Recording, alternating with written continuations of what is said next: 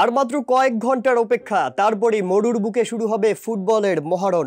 Greatest show on আর্থের সঙ্গে মানানসই এক জমকালো উদ্বোধনী অনুষ্ঠানের আয়োজন করছে স্বাগতিক দেশ কাতার, যেখানে মঞ্চ মাতাবেন বিটিএস ব্যান্ডের গায়ক জং cook.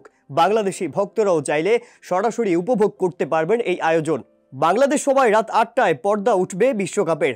Gazi TV T Sports ও টফি লাইভ অ্যাপে সরাসরি সম্প্রচার করা হবে জাঁকঝমকপূর্ণ এই অনুষ্ঠান।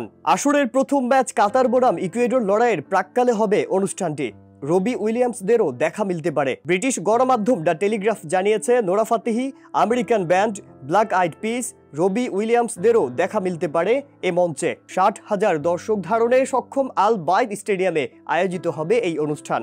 কাতারের রাজধানী দোহা থেকে চল্লিশ কিলোমিটার উত্তরে অবস্থিত স্টেডিয়ামটি। এদিকে বিশ্বকাপের একদিন আগেও বিতর্ক পিছু ছাড়েনি আয়োজকদের। মূলত সমকামীদের প্রতি মধ্যপ্রাচ্যের দেশটির আইন প্রবাসী শ্রমিকদের প্রতি তাদের আচরণ ও মানবাধিকার রেকর্ডকে ইস্যু বানিয়ে বেশ সরব ছিল ইউরোপীয়রা। এর আগে ব্রিটিশ সংগীত শিল্পী ডুয়ালিপা উদ্বোধনী অনুষ্ঠান অলঙ্কৃত করবেন এমন খবর প্রকাশ হয়েছিল গণমাধ্যম জুড়ে। তবে সাতাশ বছর বয়সী গায়িকা সাফ জানিয়ে দেন, কাতার মানবাধিকার রক্ষায় দেয়া তাদের সব অঙ্গীকার পূরণ করলেই কেবল সেখানে যাবেন তিনি।